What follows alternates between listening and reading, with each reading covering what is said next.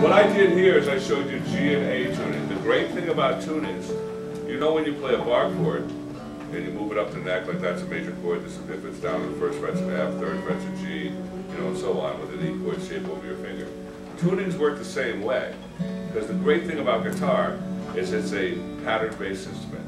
The difference is, and I'm not going to leave you guys in D tuning because I'm going to, I just want to you to look at this. If you look at these two patterns, everything simply moves down one string towards the floor. So everything you play in D and G tuning, everything I teach you, or D and A tuning, or D and E tuning, will work exactly, the patterns, the shapes that you just played, will work in G and A tuning too, and then you have the keys of G or the key of A. So now we've done four tunings of the same shapes. So you can see visually, the reason I did this is visually, it just moves over a string. Okay? All these same shapes, you see just move the string towards the floor. Pretty cool. That's four tunings. Plus you can play chords on the banjo or any other exotic instrument. Cavaquinho, for example, is tuned to an open tuning. Other instruments that you may run across that are tuned that are tuned to an open tuning. And this is important that you guys get this, because I don't know if you guys all got this last year. This is another enormous concept. Because what this will do is completely open up a lot of other instruments and a lot of tunings to you, it totally demystifies it. So what I did is I gave you the major key of the tuning. In the Chop Shop book, it shows you all the notes on the tuning, so that you can have, just go ahead and build licks or whatever you want to, or how to play off the chords in that key. The main thing that, to me, is why I love open tunings, is because when I was a boy, I used to love to play the piano with a sustain pedal down, and listen to the kind of natural reverb and, and uh, how it kind of, you know, the overtones. Open tuning gives me that same harp-like effect. You hear it when everyone's playing it once, it's just kind of beautiful drone right? It's very pleasing. It sounds great. So basically what I did is I show you how all this works. So everything drops one string towards the floor in G and A tuning.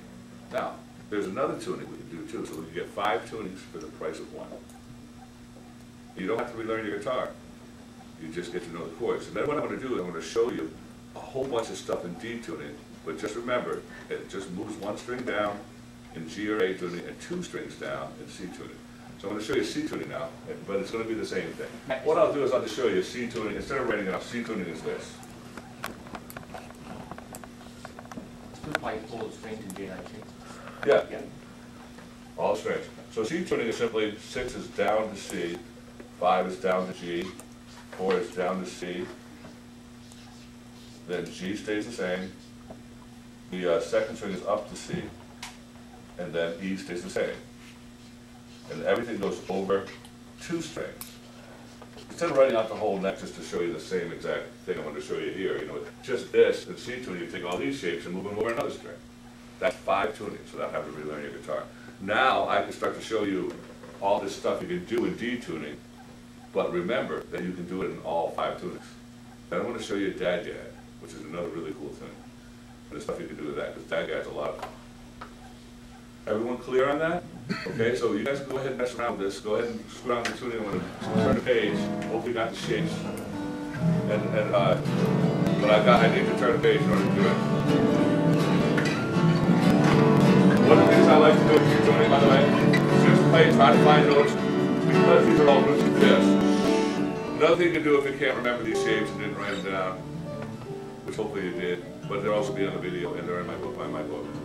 So, I'm getting all like, what happened to the nice spin?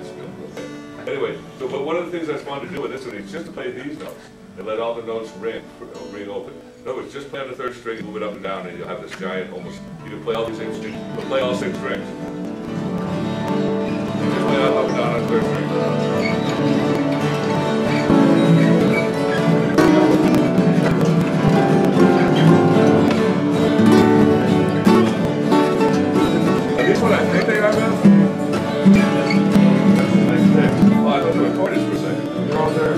Ah, I got some extras. right, that's good, so I got more, more true wishes.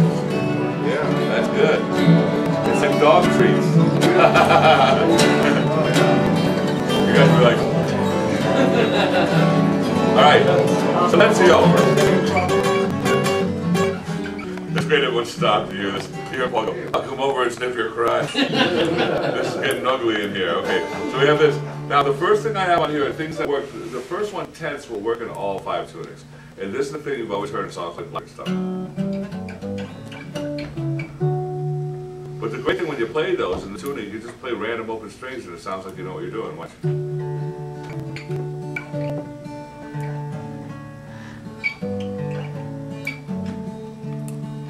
And of course, this one sounds like a PBS gardening show. Watch.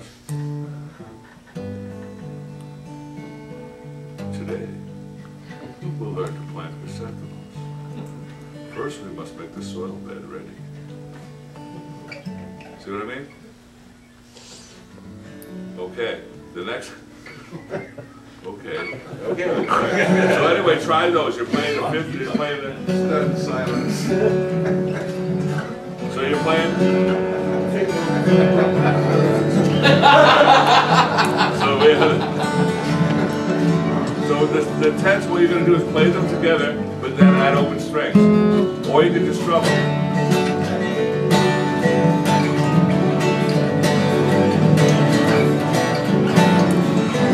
You'll get some songs out of this, Joyce, you watch.